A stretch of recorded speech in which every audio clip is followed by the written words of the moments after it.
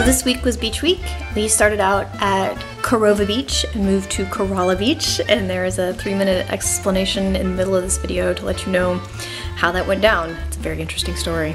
There are also a couple of really horrible iPhone photos um, in the dark because the video would have been even worse, and I had to share just a little bit about what was going on because it was amazing. So, yeah, that's it.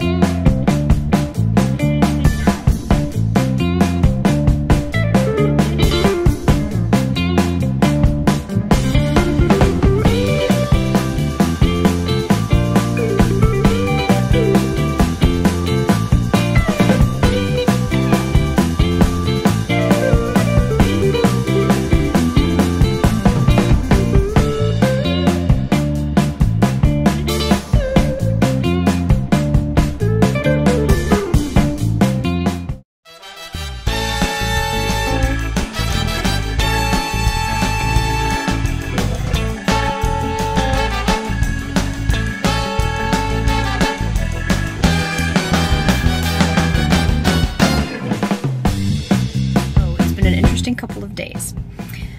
P and I left Saturday from Georgia to come up to up the North Carolina coast, almost to Virginia, to Carova, Carova, whatever, beach that required four-wheel drive. You had to drive in the sand to get to the house. Um, except that nobody said you had to drive on the actual beach. Everybody assumed it was like sa- it was sand roads in between the houses and not on actual beach. Well, it, it turns out it's actual beach. And we did that at 2 in the morning um, on Sunday morning getting here and that was a lot of fun. But the best part is is there are wild ponies all over this area. So we frequently had to stop on the beach to let herds of ponies run across the sand. It was amazing, mind blowing, and I really wish I could have gotten video of it, but it was so dark you wouldn't have been able to see anything. Um, yeah, so it was really, really cool. Uh, so we get to the house and we discovered that the house has no water, the well or the pump, something is wrong with the house water. So we we get there and we're hot and tired and sticky and all we wanted was showers and bed and we couldn't get either one of those. So we rolled into bed and that was that and woke up in the morning and the plumbers were there and um, Peace family is is doing their best to finagle to try to figure out what is going on with the pump or the well or whatever's wrong with it. So um, turns out that the there was something wrong with the pump, but the well is also dry at the house. So we had to pack right back up and get back in the car and scramble to find another place to stay because all of us had driven over 12 hours to get here, so nobody wanted to call it quits. so P got on the phone and finally found a house in um, a, fancy resort kind of community, and we moved in yesterday. Um, and actually got some beach time. So that was a lot of. I was really impressed the way that that all worked out. I definitely felt like the grown-ups handled that. and P's um, nephews and and niece-in-law, I guess, we were all sitting on the floor watching P and his sister and his brother-in-law um, handle all of that mess. So that was a lot of fun. I enjoyed that. I enjoyed being enjoyed being one of the kids and not having to worry about the stress of figuring out where on earth are we going to go. Um, anyway, so we found this great house and um, great walk to the beach. So the old house you had to go, the one on Carova, you had to go over a giant sand dune to get down to the beach where people park on the beach. And they're four wheel drive trucks, which is weird. So you have this four lane highway going on the beach near the dunes, um, and then a whole parking lot right on the sand.